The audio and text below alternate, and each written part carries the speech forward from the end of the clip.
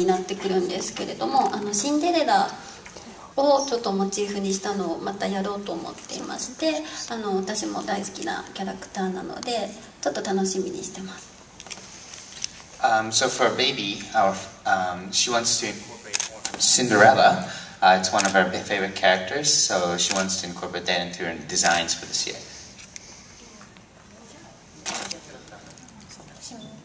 私はアリスが大好きであのアリスになったり今日はあのマッドハタみたいな男の子になったりアリスになって出てくるキャラクターいろいろ演じるのが好きです So she loves the characters from Alice, so of course Alice is one of her favorite characters, but also, as you can tell from her design today, the Mad Hat is also another favorite character from Alice in the Wonderland.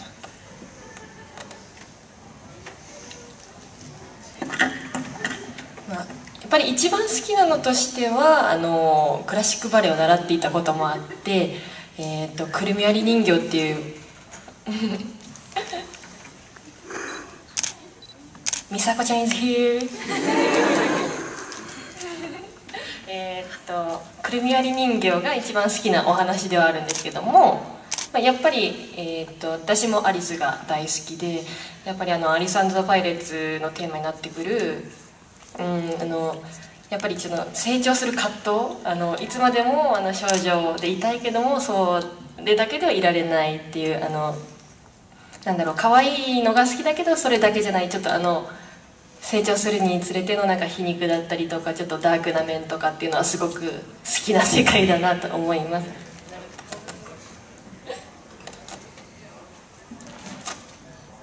So philosophical. Um, I'm trying to do this. So um, she learned some classic ballet when she was younger. So for her, um, so those classic styles is something that she really likes. And being part of the Alice and the Pirates, of course, Alice is one of her most favorite characters.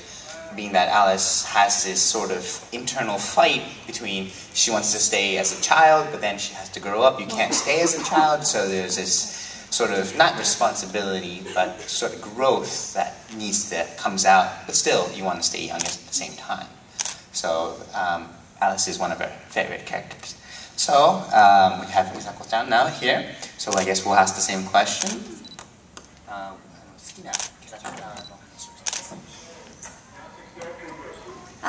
えっと、私はあのサンリオがすごい好きなので えーと、キティちゃんとかマイメロちゃんとかなんかピンクのモチーフのキャラクターが好きです So like Hello Kitty, anything that's pink she loves. Uh, what, into, what went into the collaborations with Midori and Misako? あのコラボレーションではどんなことがあのみどりさん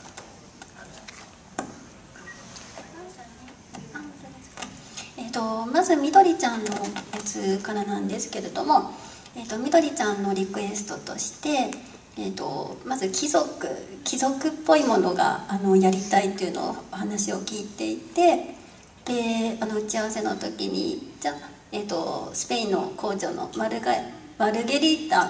ていう工場がいるんですけどもその子をモチーフにしたらとてもいいんじゃないかっていう話になりまして。であと緑ちゃんの大好きな緑色とそう,いったちょと貴族っぽいイメージをあのアレンジしてあの私の方でデザインさせていただきましたうと希望に沿ってそうなんですね。Um, so as far as collaboration goes,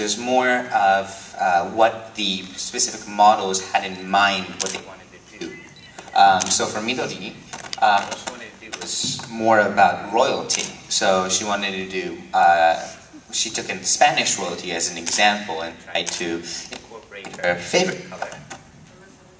Hello? Okay. Uh, incorporate her favorite color, which is Midori. So she had that sort of light greenish kind of uh, dress yesterday. Uh, so that was her uh, sort of style that she wanted to do. Green would be her favorite color. Uh,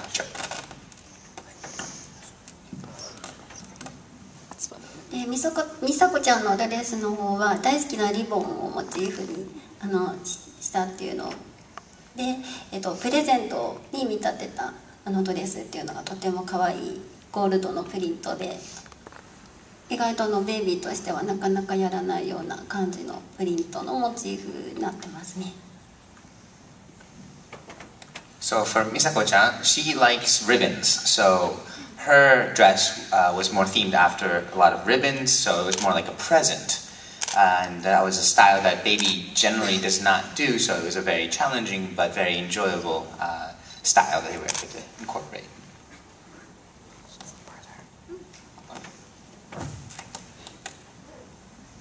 えー、と私のドレスはあの外国の方に来ていただいてもとっても似合うように丈も少し長めに作ってあるので 本当にあのこちらの方が来たらとっても似合うと思うので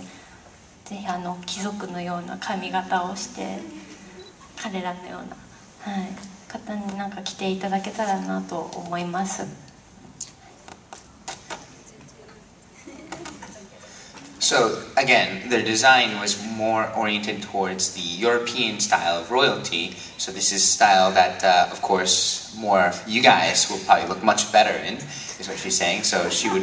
definitely uh, like to see you guys wearing those kind of dresses. And they were sort of more designed towards your uh, physical attributes. So um, I think that you guys will enjoy these, uh, this European style that they were able to create this year.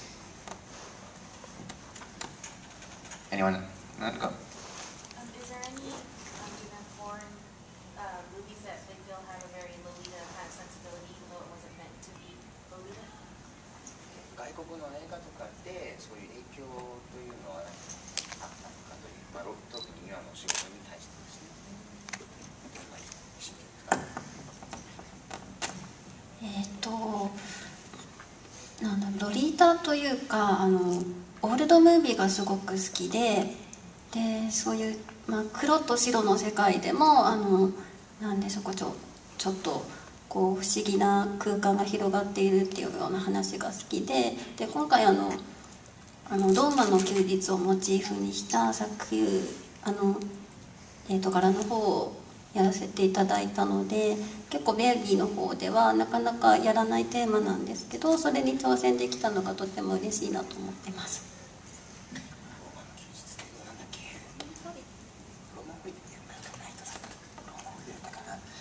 Um, so she enjoys not so much the Lolita type, but a lot of the black and white and old-fashioned style movies. Uh, especially because since there's no color, she can sort of imagine it has its own distinct uh, world about it. So she wanted to sort of use that as an imagination, as an inspiration for her designs. And I'm trying to remember the English name. The, is it the Roman Holiday? The movie? Oh, is it yeah. Roman Holiday? So that was one of the design um,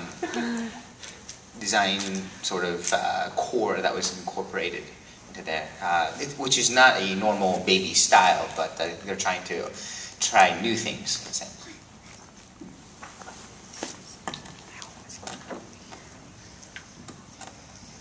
と私はあんまりあの映画には詳しくなくってどちらかというとあの舞台とか絵画に影響を受けた人間で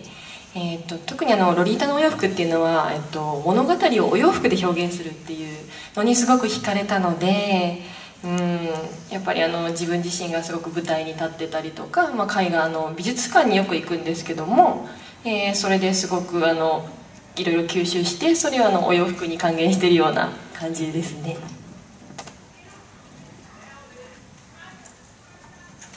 So for Tomomi, she does not really watch a lot of movies. Uh, her inspiration more comes from theaters as well as um, um, art museums. So when she goes to those kind of uh, theaters, especially, um, they sort of express their um, feelings more from the type of dress that the actresses and actors are wearing, more so than, um, well, not I shouldn't say more so, but uh, along with the story itself. So that's where she was very impressed with the type of dresses that were used in these kind of theaters as well as uh, in art museums.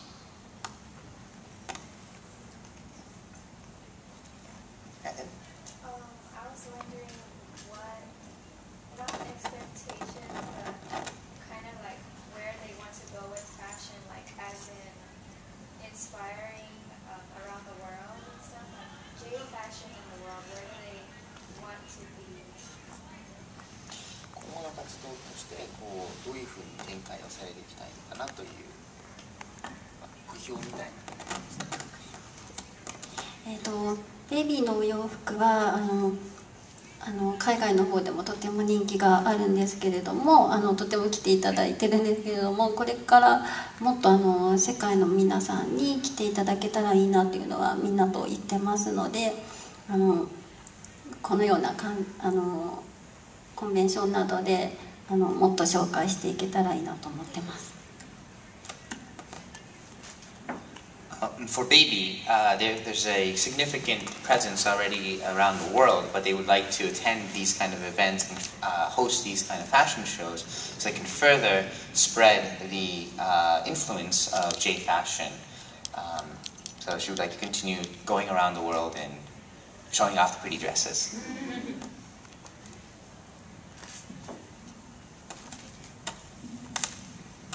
でもアリサンズ・パイレーツの方もやっぱりあの海外にすごく人気いただいていて特にまあやっぱりあのロリータの中でもちょっとダークモチーフあのヴァンパイアだったりとかはすごく人気をいただいてるのでで、まあ、あのもっとあの海外の方に広まればいいなって思うのとやっぱり自分自身が海外に来て思うのがまだあのロリータのお洋服が皆さんにとって身近なものというよりかはこう特別ななんかもうコスチュームとしてあの着られてる感じがあるのでもっとあの身近にあの着ていただけたらいいなと思いながらもっとあの広めていけたらなっていうふうに思います。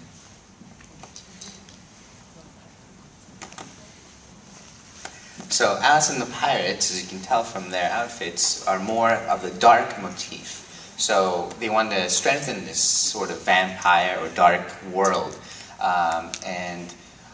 the same time, I guess, uh, the Lolita fashion is still um, something that's more specialized, so something that's more of a costume in a sense. So what she would like to do in the future is try to get this influence a little more, I wouldn't say a daily, but more of a cultural thing, so that it would be something that you can, you feel good doing every single day in a sense.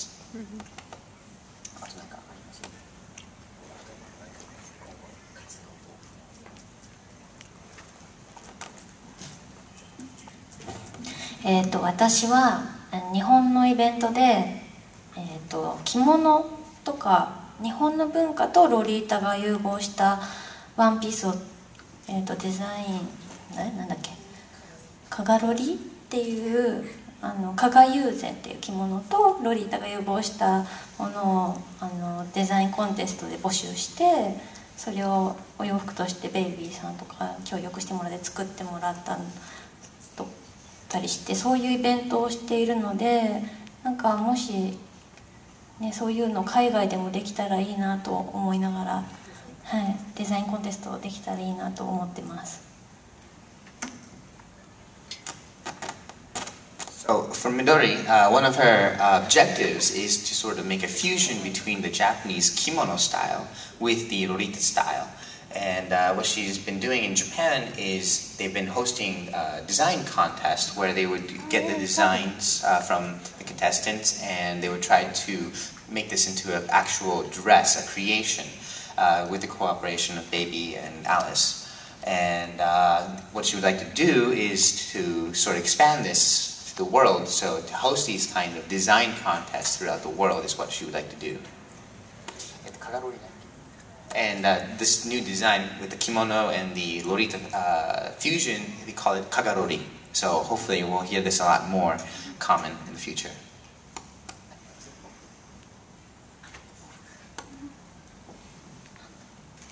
えっと、私はあの海外あ可愛い大使で海外のイベントとかにもたくさん行 かせていただいて本当に世界中にロリータファッションが広まっていることを実感しているんですけれどもその中での活動としてあのロリータ協会というのを発足させたので、えっと世界であのロリータさんたちが交流できるような場を作っていきたいと思うのであの世界中のロリータさんとお茶会をしたいと思っているのでぜひ教会に入ってください。よろしくお願いします。あそうです Um, I don't know if you guys know this, but uh, Misako-chan is the ambassador for Kawaii. And uh, she is also the, I would say, the chairwoman of the Kawaii Association, or sorry, sorry, Rita Association. So what she would like to do is, uh, hopefully, uh, they would get members. Okay, this is okay. Um, she would like to get more members from the world, throughout the world, and have more tea parties uh, all over the world. And if you guys are interested, please join the Lorita Association. Uh, I think we might have to get some information from her later so we know how to uh, become a member.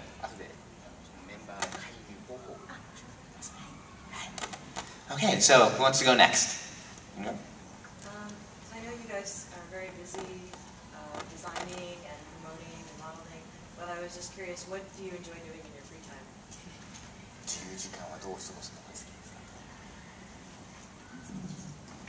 自由時間はどう過ごすのが好きですかなんか自由時間というかあのー全てこういろいろ目に入ってくるものなり耳に入ってくるものがこうどうにかこ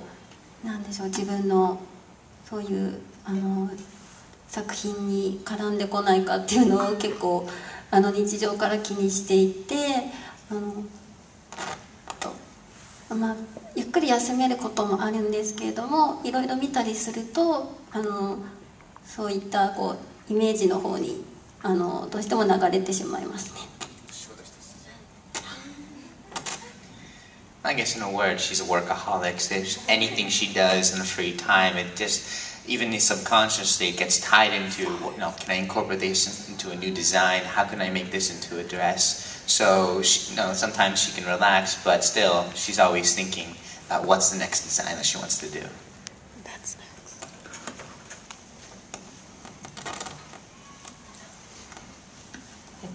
私はいろいろとあの、まあ、空き時間に物語を空想するのが大好きでそれは、えっと、何を見てかというとこう例えば絵だったりとか、えっと、音楽を聴いてそれからのインスピレーションを受けてあこれにはこういう物語があるんじゃないかっていうのをいろいろ空想するのが大好きなんですね。でそれからやっぱりあのお洋服のデザインが生まれることもありますしうんまあ空き時間はやっぱりあのそのお休みの日は大体その美術館に行ったりとかあの音楽を聴いたりしてあのまったりあの本を読んだりとかしています。Gosh, we got some workaholics here. So, um, for Tomomi, uh, she likes to sort of uh, imagine stories um, from various things. So, music, whether it be from art that she sees, or even, even just walking down the street in the cities of Japan. Uh, she comes up with these stories, and then she would try to incorporate that or express that into the design that she wants to do next. So, again, they're all workaholics. My gosh. Um, I have a quick quick announcement to make. Um, about a couple of weeks ago, um, they shipped all the uh, clothing here from Japan. I think it was about 13 or 14 boxes, and everything arrived, and they were missing two boxes, which I think which had the uh, Alice and the Pirates outfits. Yeah. And they were devastated because the boxes weren't here. Everything arrived except those two boxes. Uh, the boxes just arrived five minutes ago. So we have a driver on the way to the uh, post office to go pick him up right now. That's the announcement. Just want to let every guys know. All right, so you can text your friends and whatnot and go buy Alice and the Pirates outfits. Thank you. Thank you.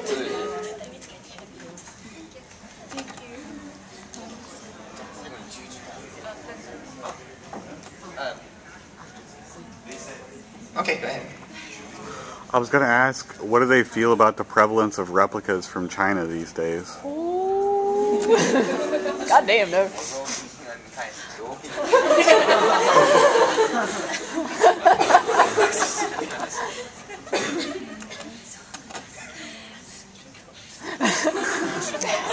とても難しい話なんですけれどもただまああの模造品が出るっていうことはとてもその人気があるっていう、まあ、裏返しだと思うので、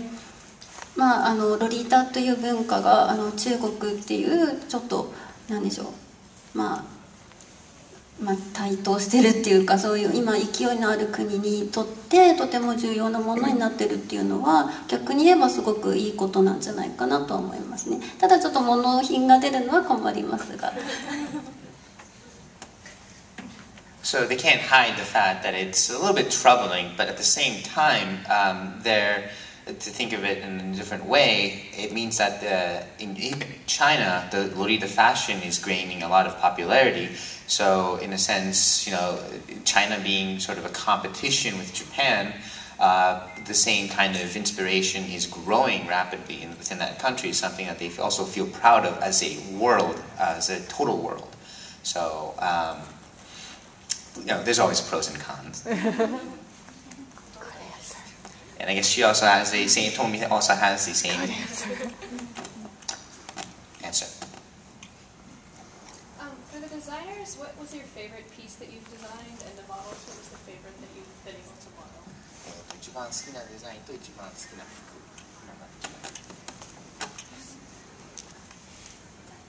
デザイナーはデザイン。えー、と私は、えー、とドレス系のデザインをすることが多くて、えー、とっていうのがあるんですけれどもあの流星アラモ流星アラモードっていうドレスがあってそれはちょっといろんな、えー、と生地の組み合わせだったりとかあのこうちょっと見るとあのなんだろうこう難しいような組み合わせでもとてもこうゴージャスな感じで私らしいデザインになったんじゃないかと思っていてとても気に入ってます。So she loves the dresses, uh, particularly. So you say that uh, shooting star, shooting. Oh yeah, I guess the shooting star Alanode is one of her favorite designs, which is sort of a combination of various types of fab. Well, I'm sure fabric is the right word, but different types of combination, putting everything together. Um, so it has a very distinctual uh, design that she really enjoyed the most. パターンの数が一番の一つ私の夢が叶ったなっていう作品ではあるのですごくもあの思い入れはありますね。であとは今みどりちゃんが着てるあのマッドハッターのシリーズもすごく思い入れがあります。あのメンズスタイルを任されることが多いのでメンズスタイルの洋服はとても思い入れがあります。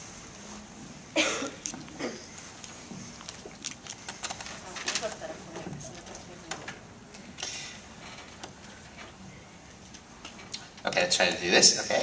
So last year, um, also did the J Fashion Show, and she mentioned the Captain Hollow series was something that they did. Uh, especially, they do the men's style, and she does a lot of projects with a lot of the men's style. So uh, that's one of the things that she feels very um, proud of, and something that she enjoyed the most, as well as the Mad Hat design as well. That's another one that she feels very um, confident about and uh, she's always wanted to do a lot of sort of not just costumes but also a lot of daily, daily dresses. Uh, so being able to produce something that can be done especially a lot of the visual um, gentlemen in japan uh, something that matches their uh, style uh, she enjoys or she feels most proud of uh, creating. And we also have a sketch here that i'll just pass around from this side of one of the styles that we were just talking about the captain hollow style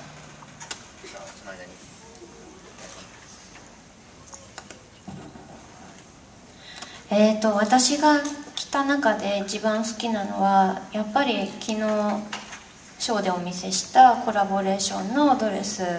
グリーンのドレスなんですけど、えっと、印象に残っているのは今彼女が着ている白雪姫のワンピース。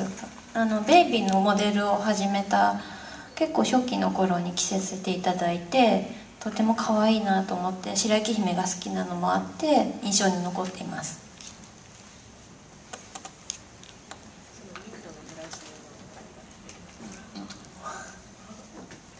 Uh, so, of course, the dress that she wore yesterday, uh, the sort of Spanish royalty, is one of her favorite ones. But something that uh, has been from the beginning of her modeling career was the Snow White style. So the one that you're kind of wearing right now uh, was something that she really enjoyed uh, wearing at the very beginning. Um, she also really liked Snow White.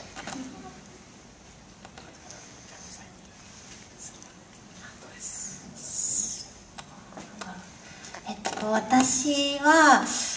えっと、なんだろう、え一番やっぱり印印象にというか好きなドレスは、えー、と自分でデザインあ自分っていうかあの今回デザインコラボレーションさせていただいたリボンの柄のドレスなんですけどなんかデートとかにあの自分がプレゼントになって自分がプレゼントよみたいな感じでこう彼にアピールできるようなデザインにしたのであの本当にそういうロマンティックなデートの時にぜひ来ていただきたいなと思います。Are you really gonna make me say that? um, so the dress that she wore yesterday, again, was uh, ribbon themed, and as I mentioned before, it was sort of supposed to be like a present. So when you're ever on a date, uh, she wants to, hopefully you guys would wear this so that you can say, well, I'm the present for you. so that's one of the dresses that she liked most. Uh, let's have her, I don't think she's asked before. Um, do you plan on making clothes a clothes store in America or anywhere in the world? えー、と海外に進出という意味でその店を海外に開く予定とかありますか えー、と今あの直営店がサンフランシスコとパリにありましてその他にあの委託で、えー、と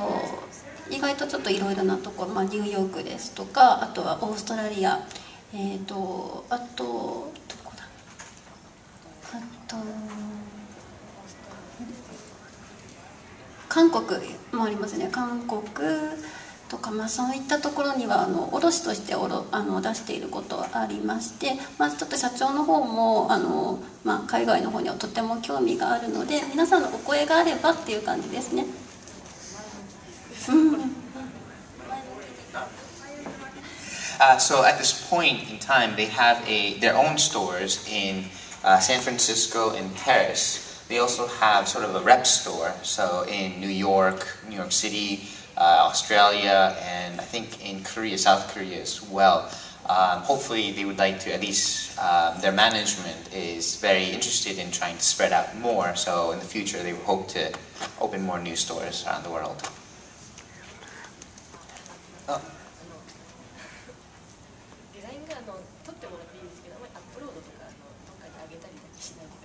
あデザインあのさっきそうあの写真を撮ってもらって大丈夫なんですけどあんまりなんかそういう YouTube とか YouTube じゃないあの Facebook とかそういう、 Uh, so we uh, passed around some of the design sheets around, and it's okay to take pictures, but they were just asking that please don't upload this onto the web. Uh, it is sort of proprietary information, so if you could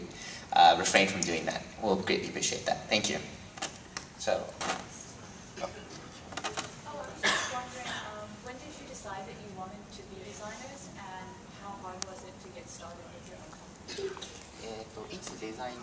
たいと心に思ったかというとそれとデザイナーになるのは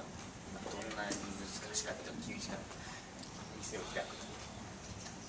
会社を作るのはできるけど。えー、と私はずっと小さい頃デザイナーというかお人形になりたかったんですよ。ななんでしょう。なのであのお人形のようになれるお洋服っていうのでそこからあの最初はお人形そこからお洋服の興味っていうのが湧いてきましてえー、となので、まあ、小さい頃っていうことになるんですけれどもでえー、とあえっとまず小物とかをあの学生の頃に作り出しましてでそこからお洋服は大学であのお勉強しました。So, her dream when she was little was to become a doll. And then she realized that it might be a little bit difficult to become a doll, so she decided, or she became more interested in clothing. And when she was, I would assume, like high schoolish, uh, she started designing a lot of accessories. And then when she was in college, she decided to become a designer and start actually designing clothes. So that was sort of her career path.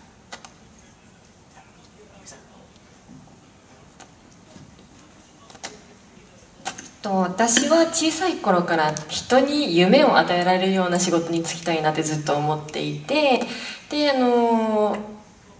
デザイナーになりたいと思うまではずっとあのクラシックバレエであのバレリーナになりたいと思ってたんですね。でもあのちょっと体を壊してしまってバレエが続けられなくなってバレエをやめた時にじゃあどうしようかって思った時にデザイナーになりたいなと思いました。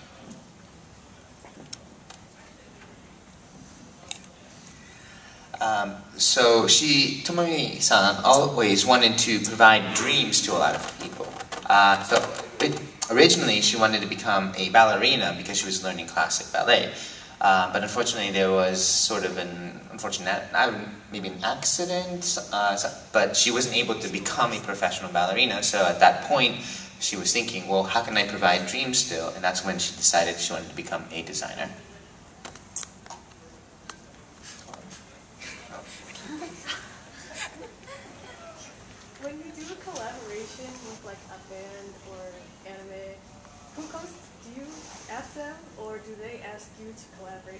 And also, Tomomi, uh, the best or rookie fiddler? Will you ever release Ah, rookies.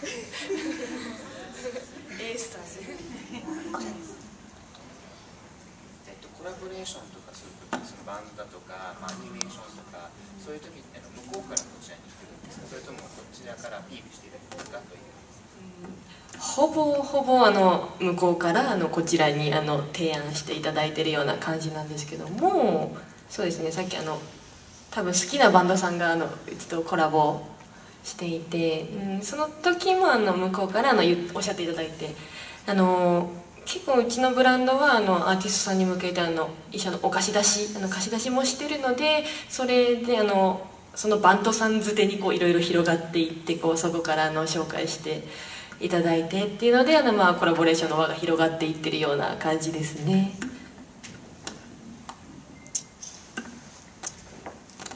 So a lot of their collaboration is they usually come to them, uh, and then they usually do a lot of rentals. So uh, through the word of mouth, it, then a lot of bands tell another band, and another band can tell. They become aware of these type of fashions, uh, type of uh, clothing, and they come to them for uh, suggestions for their performances. でベストは公開されるんですか公開というか売るんですかあー残念 その予定はないんですけども、あのええご希望が多ければ Regarding the vest, unfortunately, they don't have enough demand right now, so they're not making it available. But hopefully, in the near future, there'll be enough demand they'll actually uh, start providing that, selling that as well.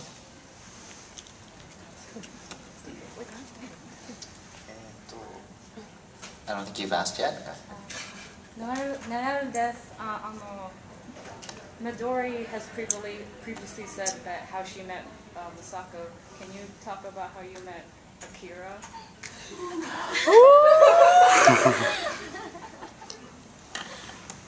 アキラっていうキャラのモデルがいましてそう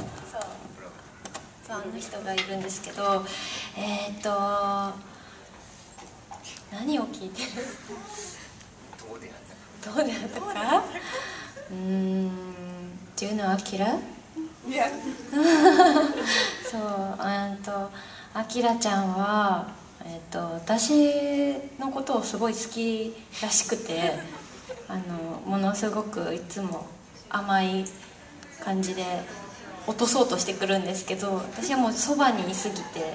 兄弟のようになってしまってあまりときめきがない。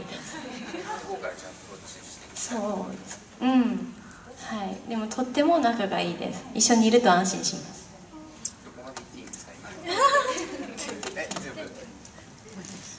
Again, why did you ask that question? I got.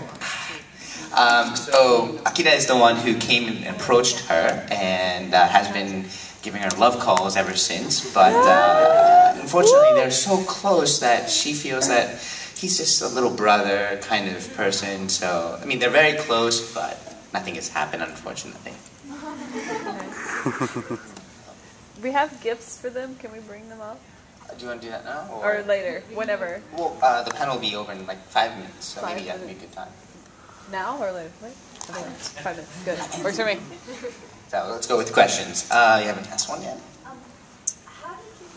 how do you feel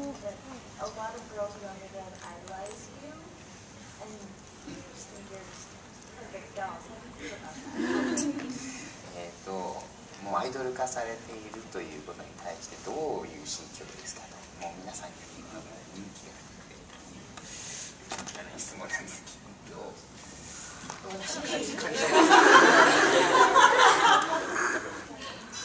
長さんにあそう聞いた方がいいかもしれない。みんながこうすごい神化されているあーどういう心境ですかやっぱりこうなんかロリートファッションって日本発祥のファッションなんですけどあのすごくその日本の繊細なデザインが凝っていてそれがすごい世界に受け入れられてるなって思っているので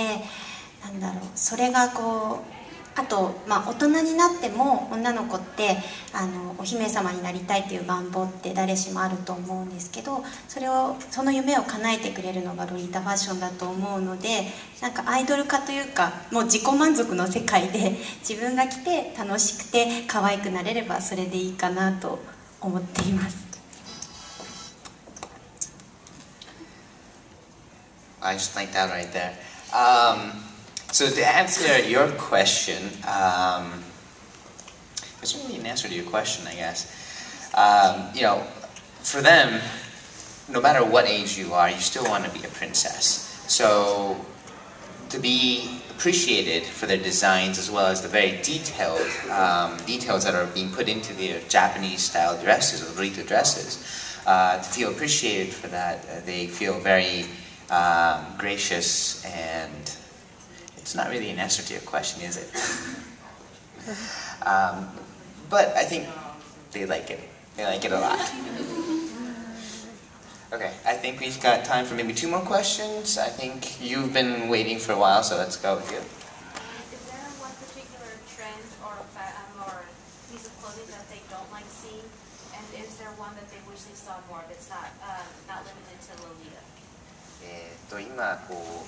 傾向としてあんまり好きじゃないスタイルがありますかということと、えーどういうトレンド他あい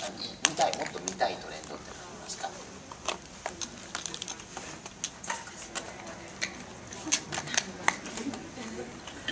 結構私はどんなスタイルも大好きでいろんなスタイルを見てるからこそ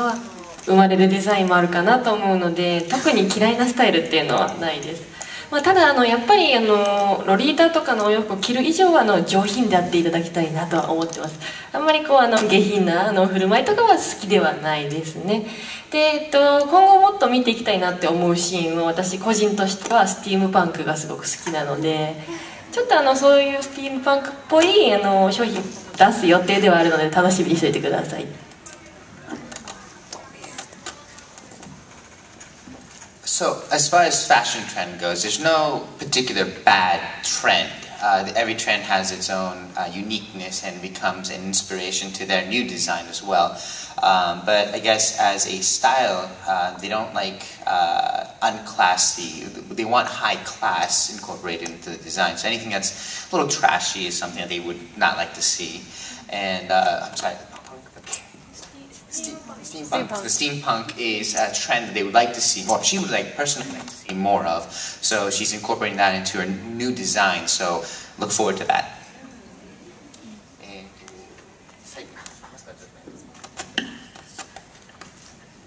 私も特にあのこれがダメとかっていうのはないんですけども、まあ、美佐子ちゃんがおっしゃるように、まあ、自分が一番こう可愛いと思うのを着着ているっていうのがロリータのこう大事な心得というかそういったものになると思うのであの皆さん自分のお好きなお洋服をあの十分に楽しんでいただければと思ってます。So she also doesn't have a particular trend that uh, is that she doesn't like per se, but uh, What's most important is that you dress the way you want to dress and you feel confident you like what you're dressed as. So that uh, she believes is the most important and then the confidence that is a trend that she'd like to see a lot more in the future. So we've got time for one more question, I think. And I guess when I say that, that's when people start raising their hands. Uh, oh, because I can't pick. Okay, so you're raising your hand the, high, the highest, so I'm going to go with you. Do you have any advice for someone that wants to make their own clothes。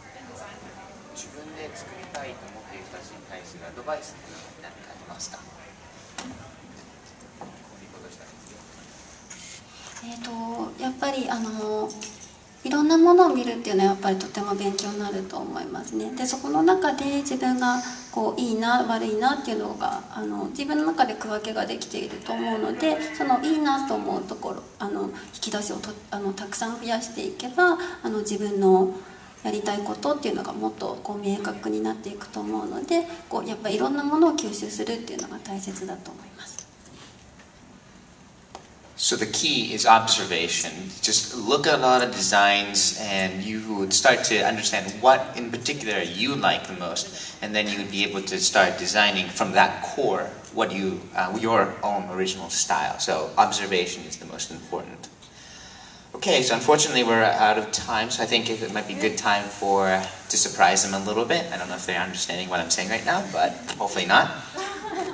いやちょっとしたサプライズがあるらしいですね。 and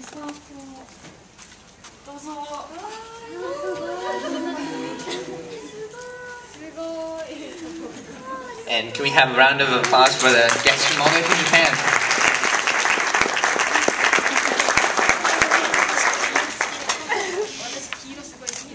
She loves yellow. And uh, there's going to be another photo session coming up after this, uh, right outside here. So if you guys are interested in taking pictures, or I guess that's a professional picture, but uh, I'll take some pictures of you guys. So uh, thanks again for this uh, Q&A session, and